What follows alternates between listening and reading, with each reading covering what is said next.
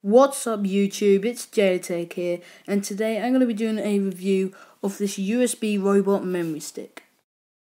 Now, it's an 8GB memory stick, so you're going to be getting plenty of storage if you're a casual user.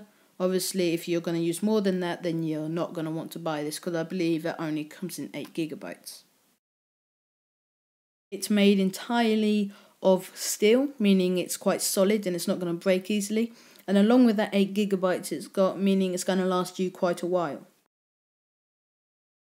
Now you will also see a little clip attached to it meaning that you can easily attach it to lanyards or anything like that and there's no worries that it won't fit on.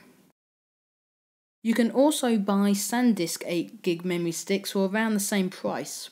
Now it's up to you which one you go for. The SanDisk is thinner and not as wide, so it'll probably fit in more computers more easily.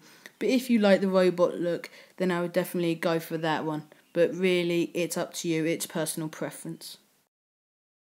Now all you've got to do to use the memory stick is just remove the robot's helmet and then underneath that you've got the USB stick and then all you've got to do obviously is then put it into a USB socket.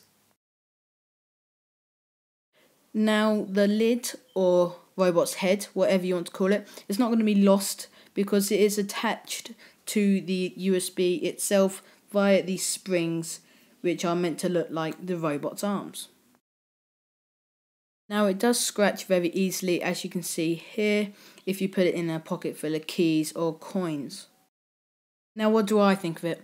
Now I like it a lot. I think it's very good. It's a very strong build, 8 gigabytes. It's not expensive.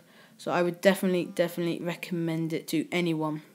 Now there are other ones like um, SanDisk's Cruzer, but really it's up to you which one you go for. The SanDisk Cruzer will fit in more USB sockets, but it's really up to you.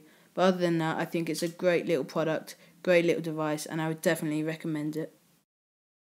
All you've got to do if you want to purchase one of these is head over to amazon.co.uk and search robot USB stick or robot USB memory stick, and it should come up with a couple of options the same as the one I've got here.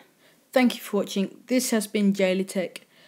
Don't forget to hit the like button, comment and subscribe and I will see you in the next video.